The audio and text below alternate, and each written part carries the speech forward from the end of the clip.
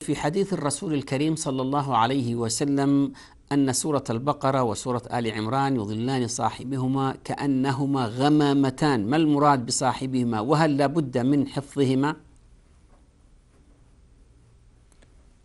نعم صاحبهما الذي يقرأهما آه، تقربا إلى الله سبحانه وتعالى ويتدبر في معانيهما تأتيان يوم القيامة كأنهما غمامتان أو غيايتان تظلان صاحبهما من الحر ومن السموم وغير ذلك ويكون صاحبهما في ظل بارد ظل ظليل.